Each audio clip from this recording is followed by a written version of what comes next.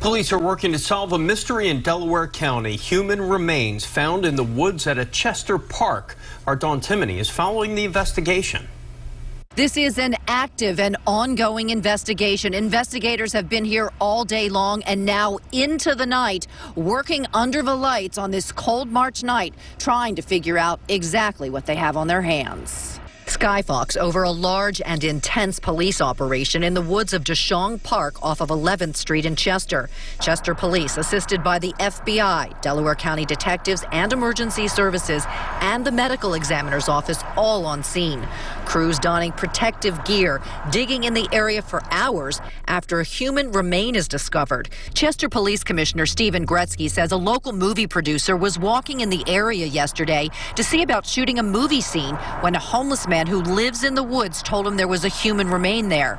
That man then contacted police, who sent a patrol car to check it out. The homeless man also approached the officer with the same information. The commissioner says they did not find a body, just a human remain, and are canvassing the entire area and digging to see if there are more. The homeless man was taken to police headquarters for questioning. He is considered a person of interest. More details are expected to be released at a news conference tomorrow. In Chester, Dawn Timoney, Fox 29 News.